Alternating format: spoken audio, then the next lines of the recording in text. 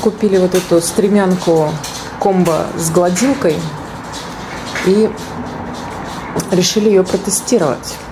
У нее еще вон чехольчик съемный и внутри мякушка. Сейчас посмотрим. Гладилка в виде стремянки домашней работает. Ну, вот это, конечно, не очень удобно сейчас. Упирается, да? Упирается, кажется, если, ну, как бы залезть можно, но так что-то делать. Особенно смешно, если ты будешь что-нибудь сверлить и загадишь вот эту всю поверхность.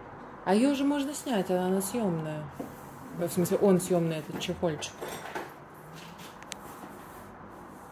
А можешь взять?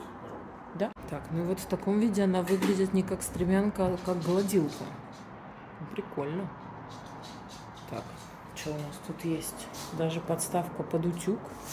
Единственное, что, ну, испанцы, как всегда, распиздяи, конечно, они все э, свои информационные листочки приклеили на обычный скотч. И вот он тут оставил свои негативные следы. Ладно, попробую постирать эту штуку, может быть, отстирается. Или придется сразу купить новый чехол. Я сначала думала купить новый чехол чисто, потому что красный нам не, ни к селу, ни к городу. Ну, не знаю, посмотрим. Чехол я уже отправила в стирку, а внутри чехла вот такая мягкая штучка, чтобы приятно было гладить. Потому что если у тебя просто сверху чехол на какую-то жесткую поверхность, гладишь как на деревяхе. А с мягкой штучкой оно как-то поприятнее.